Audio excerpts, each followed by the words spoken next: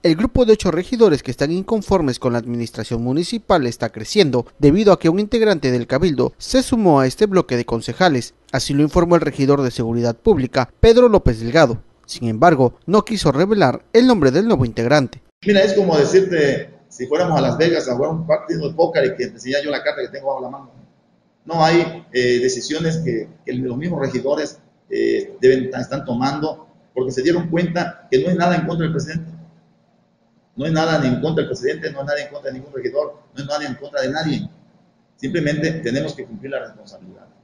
En relación a los comentarios que hizo el regidor de Educación Manuel Rodríguez Rodríguez, López Delgado mencionó que el día que se lleve a cabo la sesión de Cabildo le entregarán una copia de la ley orgánica municipal para que verifique el artículo que marca la periodicidad en que se deben efectuar las sesiones ordinarias de Cabildo. Por ahí Manuel Rodríguez salió comentando de que eh, las secciones públicas no son obligatorias, no son legales. Ese día en el Cabildo le vamos a hacer llegar la información para que el señor pues aprenda, ¿no?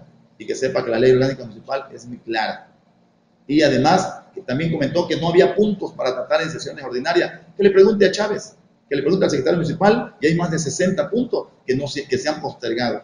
Te puedo nombrar, por ejemplo, el de Agua Fría, te puedo nombrar, por ejemplo, el de Las Palmas. Hay muchos puntos dentro de la sociedad que están hace tiempo guardados y no se han podido tratar y ventilar en cabildo, para darle la solución. En cuanto a las declaraciones que ha hecho el mandatario municipal con respecto a la transparencia en el manejo de los recursos, Pedro López comentó que esto está bien, sin embargo, apuntó que lo correcto sería que lo comprobaran de manera contable, legal y administrativa. Yo creo que todos los regidores somos amigos, todos, yo respeto al presidente, respeto a todos y cada uno de mis compañeros regidores. Valemos lo mismo dentro del cabildo y lo que yo quiero es que juntos juntos vayamos hacia el mismo rumbo, pero que mandemos los, los, 10, los 16, que podamos tomar decisiones y que podamos saber hasta dónde tenemos responsabilidades. Ellos han hablado de transparencia y que todo está muy bien, qué bueno, pero yo, que me lo enseñen, que me lo demuestren fiscalmente, contablemente y legalmente. Esa es mi área, esa es mi especialidad y sé que cuando las cosas están bien, se enseñan a todos y a cualquier hora.